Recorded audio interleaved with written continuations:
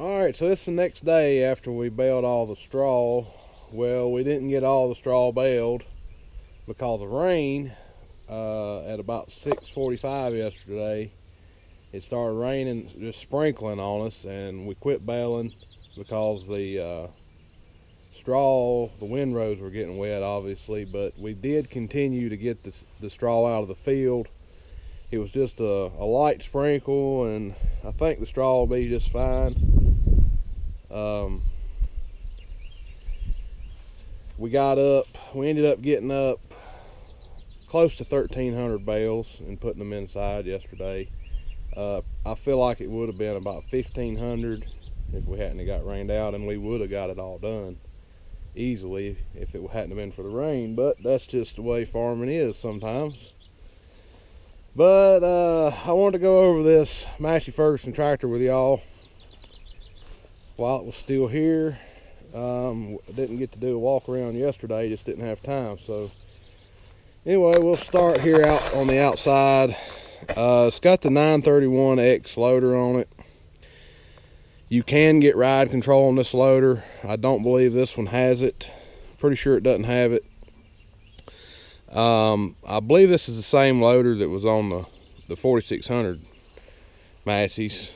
Um, it does have, you can get a third function on it. It's not a live third function, uh, but neither is one on my T5. Um,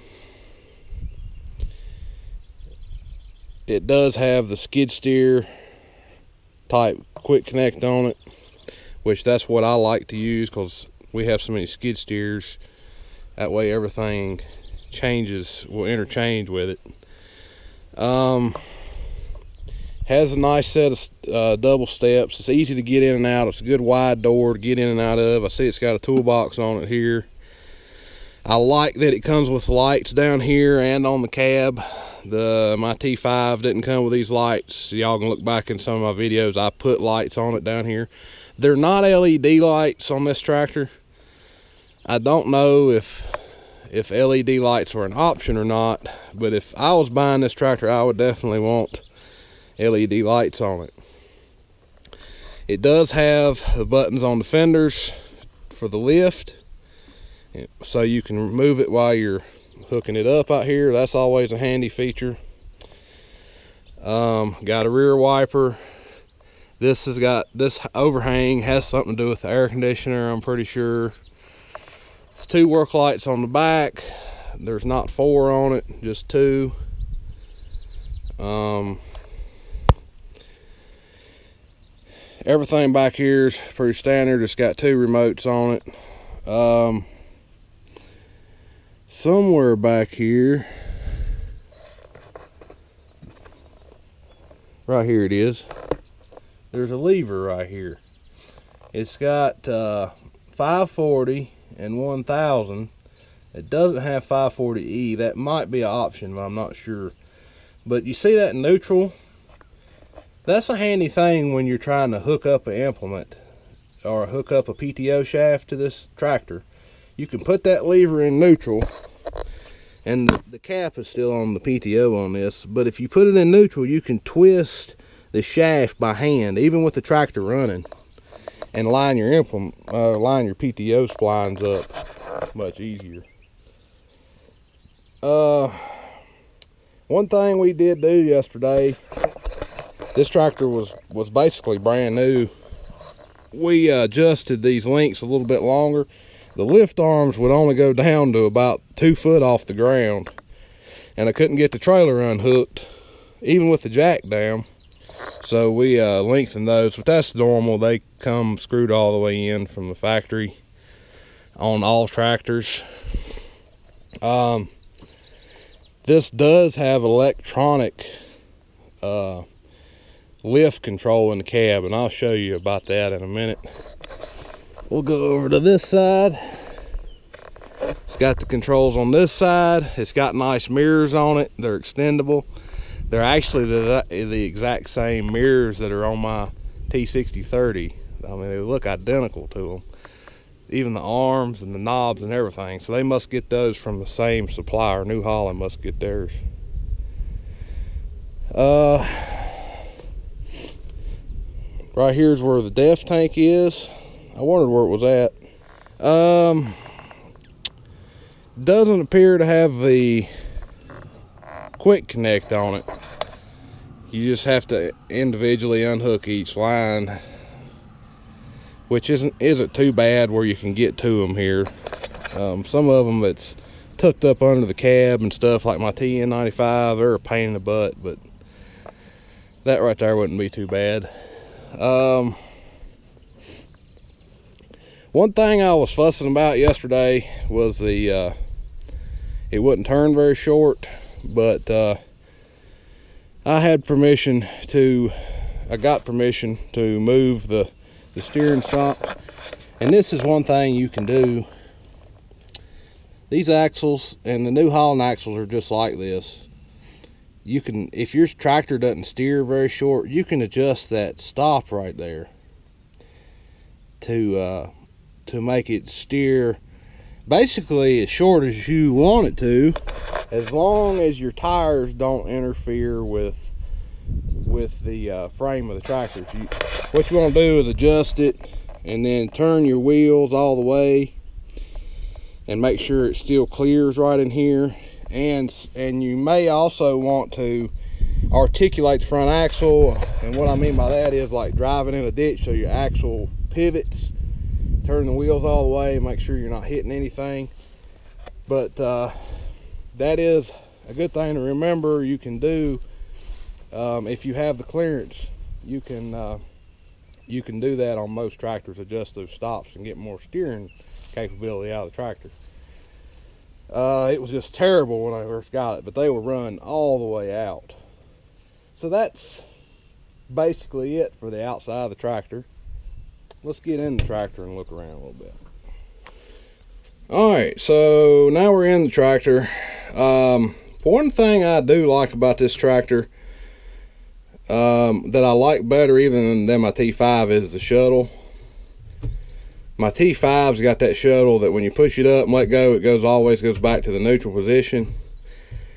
And that I've gotten used to that and it works all right. It, it works good and it's got a button on it you push in, on the end to put it in neutral and that's on my T5 the the only thing is is if you have your hand up here I don't like to have to look to see what direction I'm going and it does show you on the display but I like to be able to feel with my hand which direction I'm going so I don't have to look or or remember so I do like this um, this shuttle better than the one in my T5. And I also like that once you put this in gear, if you want to clutch, you can pick it up like that and it goes back to neutral without having to push the, the manual foot clutch. Um, there's also a clutch on this gear stick right here and that's a handy feature because you can use that to shift gears and never have to push the foot, foot clutch and it does change very smooth. Um, every time I shifted yesterday, that's how I did it, and it changes very smoothly. I was very, very impressed with that. Um, the T4 that I had had that on, and I always liked that feature about it. Um, this tractor does have uh, tilt steering, and uh, you use this lever you push it to tilt it and it does it also has telescopic steering by pulling on it and then you can telescope the steering wheel.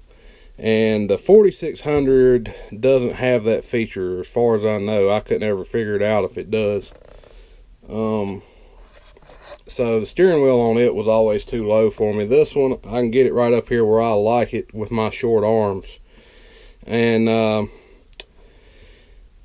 speaking of short arms, that's one thing about this tractor um, and my T4 too. So I can't just pick on this tractor. The, the the joystick is too far away from my my liking. I have to stretch my arm all the way out just to reach it. Now, if I want to let it down, I'm I'm in this position where I have to lean forward to let it down.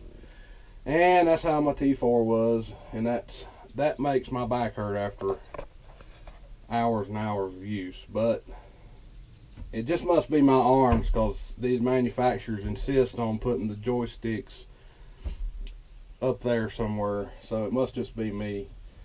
Um, one thing, one other thing I noticed this tractor has is um, it has auto four wheel drive, and you you click it and it goes to auto, or you click it again and locks it in uh, full time, and that's a pretty nice feature. And uh, you know, so I'm I'm pretty sure it auto brakes, and, I'm not sure what all controls when it goes into four wheel drive and auto, but I'm sure the brakes control it like on the on my T5.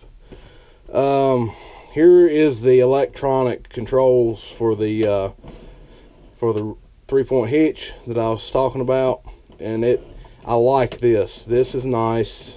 Um, it works good. It's easy to move, and you ain't got the big lever over here that you got to operate. Of course, here's your PTO. Um, there's cup holders on both sides of this tractor and little cubby holes.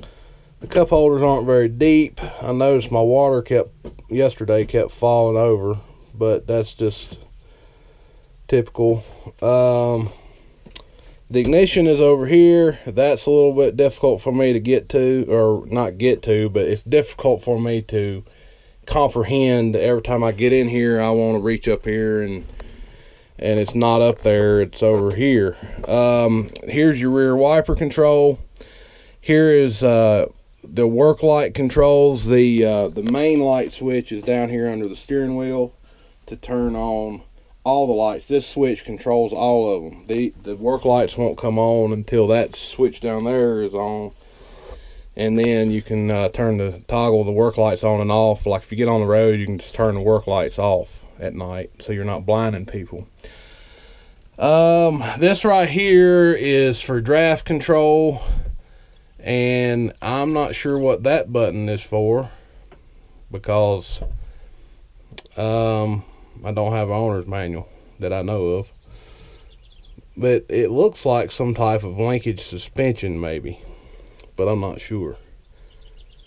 Uh, well, I think it's just a blank plug because there's nothing it's just there's nothing there. I thought it was a button but there's nothing there. It's just a rubber plug where another knob could be looks like. So it's an optional something this tractor doesn't have. Um oh and beside the four-wheel drive you have the the diff lock of course. Um up here you got stereo because every tractor needs some music in it. And here's your air conditioning controls. Um fan and the, you know the typical stuff up here. Um, it's got vents all the way around you in the ceiling, and uh, it it done okay yesterday. The sun never was really that hot, but I run it as wide open all day yesterday, and it, it just kept me comfortable. It didn't really freeze me out. So I don't know if it's a little low on Freon or if it's if it's just the nature of this tractor. Um, but I didn't, you know, I didn't run it enough, and you know, hotter weather sometimes make them feel like they're working better, and overcast, humid weather sometimes they don't. Air conditions don't seem to work as good because of all the water they're having to deal with, but. Anyway, um, front wiper. Front wiper controls are right here, which I like. It does have an inter mitten delay right there and that's a really nice feature. My T5 has that. Um, there's more buttons down here. You got uh, these control the screen and I never did play with the screen yesterday. I did notice it shows the def level. Um, it shows how many miles you've put on it and I'm sure it shows hours. Um, I think it has an acre counter on it from what I could tell but it, like I say, I didn't mess with all that. Um, but one thing it, uh, it does have that my T5 has is an auto. I seen this button yesterday, but I wasn't sure what it was. But now I know that it is. I played with it some. This is auto throttle setting. So like, let's say uh, your PTO 540. Uh, operates at 2200 RPM. You can set this button to automatically take the RPMs to 2200 RPMs when you push it and you don't have to move this lever and adjust it to perfectly 2200 RPMs every time. You just hit this button, it goes to the correct RPMs and you begin your work and it makes it I like it in my T5. It just makes it a little bit easier um, to get going instead of having to sit here and push this up and it's not quite there and you push it up a little more and then you got too much and you pull it back a little bit and you know you operate a tractor you know what i'm talking about. Just the uh, convenience features that uh, makes these newer tractors a little nicer to operate. Um, of course the back window opens.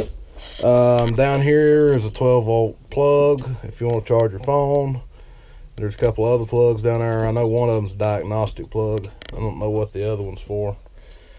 Um, mirror in the cab. There is a nice uh, storage compartment right here. Um, that is a very nice feature. My tractor, my T5 has a storage compartment over here, but it's it's about a a fifth of the size of this one. This is a nice big storage compartment. I like that. There's also a net down here that that you can put stuff in. Looks like they've got some baler twine. They probably took off a bale or something laying in there. Um, it does have a hand brake, parking brake over here. I like that because that's the way my New Hollands are. Some people don't like that. Some people like the park. Some people like the the uh, the foot brake type where you lock the pedals down. Um, I'm not a big fan of those because the levers are always down here where I can't reach them with my short arms again because I, I just can't reach my feet very well. Um, and let's see, this seat, the seat's nice. The armrests are long enough for me. They're adjustable. The height of the uh, of them are adjustable here um, it, the seat I'm pretty pleased with. It does swivel to the right so you can look over your shoulder easier. The seat is nice. Um, I could live with the seat. Um, my T4 had a similar seat but the armrests were short and unusable. That was one of the biggest problems with it and the bottom was short. I felt like I was always sliding out of it. Um, this tractor's transmission is a 12 speed. It has a high and low lever down here underneath the armrest. You and uh, and then you have six gears and low and six gears and high makes it a 12 speed. That would be about the only reason I wouldn't buy this tractor. It's because of 12 speed transmission not because I dislike it, I like dislike the transmission or the tractor, but because I would rather have a 16 or a 24 speed for pulling a square baler. Uh, with a 12 speed, if you ever pull a square baler, you know what I'm talking about. You're either going too fast or too slow. It seems like you can't ever find the right gear that you need. Uh, but I do like Massey's idea on this, and I think Kubota's the same way. You have, uh, instead of having on New Hollands you have three ranges with four gears in each range so you have to change three different ranges if you need looking for gears instead of just uh, two ranges and then you have more gears in the main stick and that to me is makes more sense and is easier to use. Um, I just wish they'd put a dual power or something on that where you had a high and low in each gear and then that would make this tractor much more appealing to me. Um, and if they do that, I, I would consider trading my T, TN95 for one of these tractors. My TN95 has a 12 speed in it, like this tractor. Um, and that's why I don't want to go with a 12 speed again because I just, I used to square bale a lot with the TN95 and you just, you can't find the right gear. It's just, and I'm not, I don't want to buy another 12 speed transmission and have the same problem. I just, I'd rather have a another tractor I could square bale with easily if I wanted to. So, enough of me rambling on. Uh, I think I've covered most everything about this tractor. Um, that I know about it. I'm sure there's some stuff about it I don't know about. Um, oh, I do know that it's a three cylinder engine and it is very quiet in this cab. Um, it's quieter than the 4600. You can run it wide open. I, I mean, I, I've yesterday there were several times I had it running wide open, and I thought, there's no way this thing's running wide open going out through the field, but I would need to change gears to the next gear to speed up because I'd look. It sounded like it wasn't even hardly running, and I looked down and the tach would be saying 2200 RPM, and I think it don't sound like it's running that fast, but uh, it's just that quiet in here, and I was impressed with how quiet it is. Um, so they improved that. They definitely improved that over the the 4600, I think. Um, the 4600 also the gear pattern is upside down. This one, they've got it just like a pickup or anything would be. On the 4600, first gear's down here, second gear's up here, and then third and fourth, so on. This one is, is that would be backwards in my thinking. This 4700, they've they've got that fixed. They got one, two, three, four, like normal straight gear transmission. In my opinion, that's normal anyway. Okay, so yeah, that's my thoughts on this tractor. I like it. Um, it took me some getting used to, but I could see myself in one of these if I had more gears. I just put it that way. So, anyway, I'll talk to y'all guys later. Um, if you have any questions about this tractor, I can try to answer them. I don't know. I've told you pretty much everything I know. But uh, I guess that'll be all. And I would like to thank uh, Dr. Hickson again for allowing me to use his tractor uh, for this video. And uh, I'd like to thank Terry Slusher again also for arranging everything with Dr. Hickson and uh, and uh, hauling the tractor over here to the job and everything went good and we got the job done and we have no no breakdowns and no damage to any of the equipment um, so you just have to say it was a good day and we'll talk to y'all later